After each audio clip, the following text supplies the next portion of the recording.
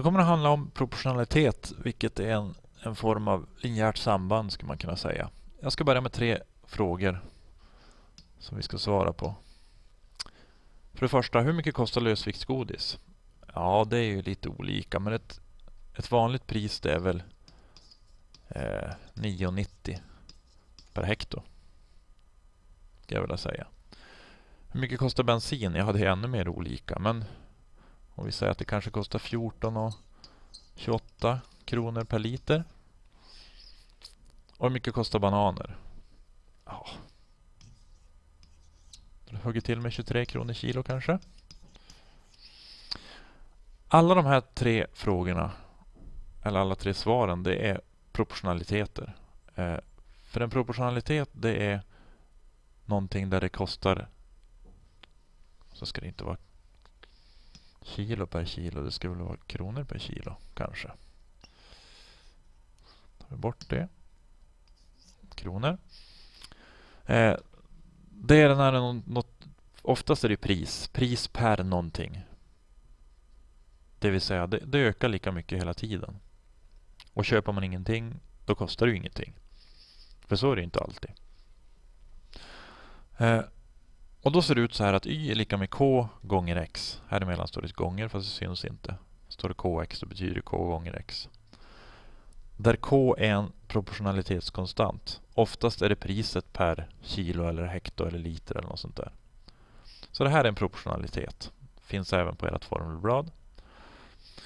Eh, och den här k, proportionalitetskonstanten, det får man genom att ta y, som oftast är kostnaden, delat i x, som är antal av någonting, liter eller kilo eller vad det nu kan vara. Så så här räknar man fram k om man inte vet det. Eh, vi ska ta två uppgifter från boken, 5134. Då pratar vi om ketchup och ett märke det kostar 14,60 för 0,85 kilo. Och från ett annat märke så kostar det 21,40 för 1,25 kilo. Och vilket märke har lägst jämförelsepris? Det vill säga nu ska vi räkna ut den här konstanten. Hur mycket kostar det per någonting? Och i det här fallet kostar det per kilo som vi vill kolla. Eh, så den här första sorten då, som heter Flurp. Den kostar alltså 14 och, oj, 14 och 60.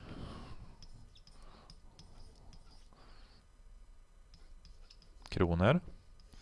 Och för att få veta hur mycket ett kilo kostar så måste vi dela med hur många kilo det var. 0,85 kilo. Och 14,60 delat till 0,85. Det blir ungefär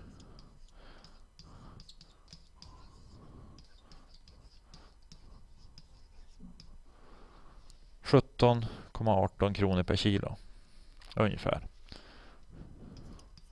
Så ska vi kolla det andra märket.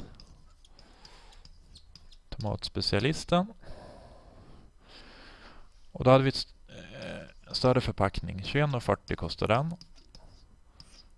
Och då ska det delas med hur många kilo det var. 1,25.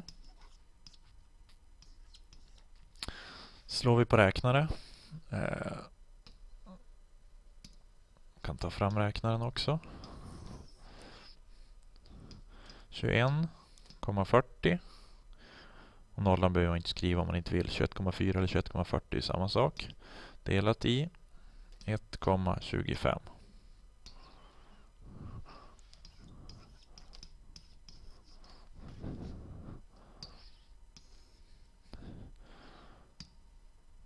kronor per kilo igen.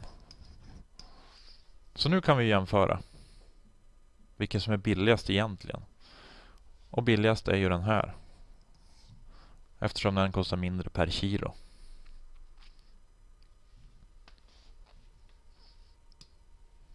Nästa 5137. Från boken igen. Eh, och nu ska vi kolla, nu är det inga pris så, utan nu är det mer samband mellan X och Y. Vi ska kolla om det är proportionalitet i det här. Och är det en proportionalitet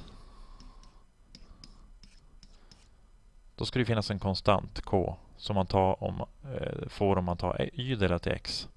Så vi testar alla y delat till x här. Vi tar y delat till x, 12 delat till 4 och får 3. Vi tar 18 delat till 6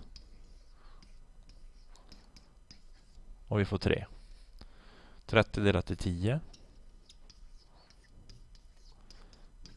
och vi får 3. Får vi tre på alla, ja men då finns det en proportionalitetskonstant. Så då kan vi svara ja, det här är proportionalitet. Eh, vi kollar B.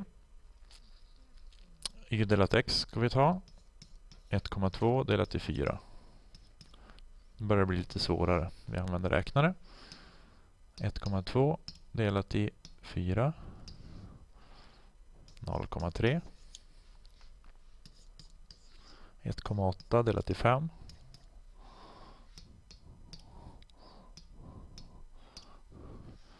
0,36. Och vi kan ju säga redan nu att det inte är någon proportionalitet för då ska det vara samma. Vi ska få samma konstant hela tiden.